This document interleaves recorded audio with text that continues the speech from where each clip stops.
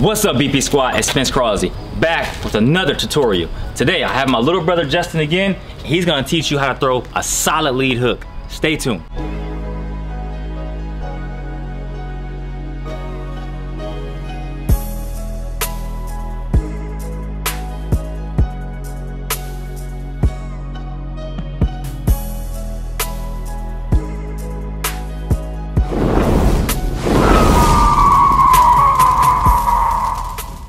All right guys, so thanks for tuning in once again for another video. We're gonna be teaching you guys how to throw a solid lead hook. Now, if you checked out my last video with my little brother, he taught you guys how to throw a jab. This time around, however, he's gonna be teaching you guys how to throw a solid lead hook. As I told you before in the last video, that he has a pretty good lead hook. And if you guys watch boxing, then you know having a lead hook is crucial because you can catch people, not only when they have their guard up, you can catch them right at the end of it, but you can also sneak that thing in. You could get different angles from this way or this way. But as I said before, he's more of the pure boxers. So I'm gonna let him go ahead and take it away and he can explain more. Having a good lead hook can definitely be deadly in uh, a lot of situations because sometimes it, can, it will allow you to come around the guard. It will allow you to come in between the guard depending on the angle that you actually throw it. So when you say, how do you throw it? What do you mean exactly how high you throw it? Yeah, because sometimes my opponent could have his right hand up and I can still sneak it around. Oh, Or okay. sometimes if he has his hand right here, I can still sneak it in. It's just kind of dangerous. So it is dangerous for the person defending the hook just because sometimes it's hard to tell what angle that the shot's actually coming from. Sometimes they might come too far in and then they still get caught. Sometimes they can come too far out and they're still getting caught. So it's like I was saying earlier in the video, guys, how you could catch the end of that hook, even though you still have your guard up. That's why it's so important, but you can still get caught. As my brother was explaining, you might have like something like this, right? And then catch me. catch him still Right there. here. And if anybody who watches boxing, that was how Charlo knocked out Tony Harrison in their second fight. He literally caught, I think Tony literally had his hand up and he literally came in between the guard and still caught him. So guys, you seen that last clip of Charlo versus Harris. So that's why it's important to throw your hook in different angles. You mentioned some other things as well. What's another tip you could give these guys about having a solid lead hook? Having a good solid base, which is a good balance because you definitely want to, I mean, but this, this really applies to every punch that you throw in boxing, but especially with the lead hook, So you mentioned about having a good base and solid balance. Why is that so important? From my understanding, is it just about creating leverage for that left hook? Yes, I mean, so you have to also look at it like this. Look at it like from like a tree standpoint, right? So we have a good base, you're solid. If you're bouncing around, you won't have as much leverage on your shots. However, when you're actually planted and you can actually get a lot more leverage and a lot more power on your shots. Okay guys, so having a solid foundation is critical to having a solid lead hook. What's another tip you could give these guys? I mean, whether you're southpaw or orthodox, for me, since I'm orthodox, you want to ideally keep your right hand up because oftentimes in boxing, a lot of guys will throw a left hook at the same exact time Ah. as this other guy's throwing the left hook. So ideally, you would rather to have this hand up so you can catch him and you can still catch his hook at the same exact time. You don't want to be like this and then let's say he actually has his right hand up and you don't and then you're gonna be the one that's actually getting caught. All right guys, so we talked about having leverage on your lead hook, having a good solid foundation, and making sure you keep your hands up. For southpaw, you're gonna keep your left. Orthodox, you got your right. What's some ways that people can improve their lead hook? Um, first off, you really, a lot of time people make this mistake of not putting their weight on their lead leg. So they might have their weight on this leg or they're just not even distributing their weight at all. So they might just be like this, which, I mean, if you throw it as more of a, of a check left hook, you could. But if you really want to have leverage and do some damage, you ideally want to shift your weight to this lead leg and then throw it. So that's creating that leverage like. Boom. Yeah.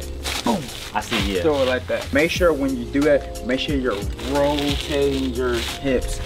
Rotating those hips. So rule number one, solid base. Two, make sure you have that right hand up. And, and then I want you to throw it and I want you to rip it like, like this. So you should be rotating, rotate, rotate. so So it's so, like your so like your lead so like your lead foot will actually turn a little bit, but but the main thing that you want to rotate those hips. ah. So it's almost like you wanna, rather than punch at the person, you wanna go through that person. go through Okay, exactly. okay. So like, if any of you guys played baseball, you would know. So when you're actually batting, you're so you're rotating. So it's the same exact concept, but it just apply it to the lead left hook, and that's pretty much it. All right, so my brother has spoken about that. What's one more thing you could give these guys about like improving their lead hook? The lastly is this one. Um, a lot of people make this kind of mistake, and this is something that you shouldn't do. A lot of guys will do this when they throw their lead left hook. They're kind of like slapping. Ah, So, so this will not give you any sort of power. So like like, arm punching. yeah. So like basically, you can have the correct form. You can do everything that that I literally just um, showed you. But if you're hitting like this, you're literally just hitting them with like the palms. But ideally, so you want to make sure you turn it over and make sure you hit them with the knuckles. And ideally, just like if you watched the last video with the um, how to throw a perfect jab, well, you really want to make sure you make contact with these two knuckles right here you can deal with the most damage. So, bam, bam, but just make sure that the knuckles is turned over. Bam. And what some guys do to actually make sure that they turn the knuckles over, some guys will even do this. They will actually curve their fist like this. I mean, I don't really like do this, but some guys do do that just so they can make sure that they're really getting those knuckles in. So they would just curve their fist like this. All right, so now that you guys know all the tools to improve and better your lead hook, now we gotta talk about the common mistakes. Give some common mistakes that people make when throwing their lead hook. Okay, well, a common mistake that people do make is, is standing way too high. It's sort of like, uh, this isn't the best example, but I used it in my last video uh, with my little brother. When Dominic Breazeale, if you watch closely, guys, he stands up really high. So I can see why that plays like a, let's say a pivotal role when it comes to not having a solid lead hook because you talked about leverage. So if you're standing like this, I, even me doing that, I don't, I don't feel a lot powerful. When I, I'm like this, sort of like Mike Tyson, I'm like, boom! Exactly. Even when you look at all the, um, I mean, I'm not gonna say all, but majority of the biggest, you know, punchers in boxing history, they usually squat down when when, when they're trying to get really good leverage.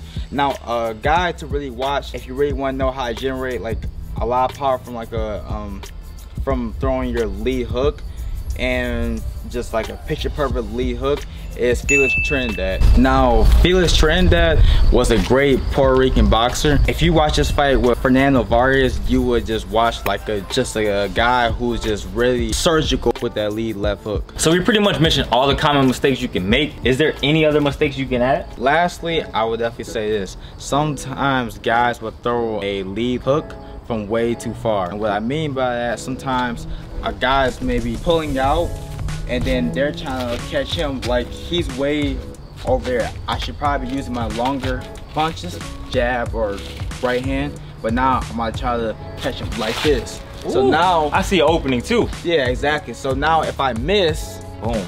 He can hit me right there. Or even if I do happen to make contact with him, look, It's nothing. it's like a slap now because it's because it's gonna be so difficult for you to actually turn like this. Right. I mean, it's still you know possible, but it's a lot more difficult to actually turn and actually get good leverage. Because now, now it's kind of more of a arm punch rather than I'm actually torquing it. And even then, guys, as my brother was showing you, you see how his arm is extended? Extend your arm again. You see, I can see that. If it's shorter, I have I can't see that as fast. But since it's long, I'm like, all right, I can see where he's coming from. I can get under it, boom, or I can even look like this, boom, get underneath that hook.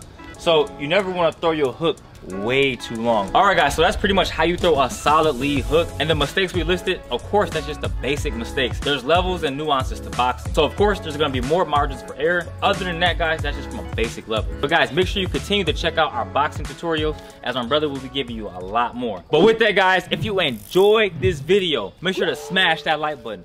Most importantly, do not forget, pat, pat, pat, boom, ooh, I just knocked him out, to hit that subscribe button. Until then, I'll see you guys next video. Peace and love as always. And now, shade. Don't do this.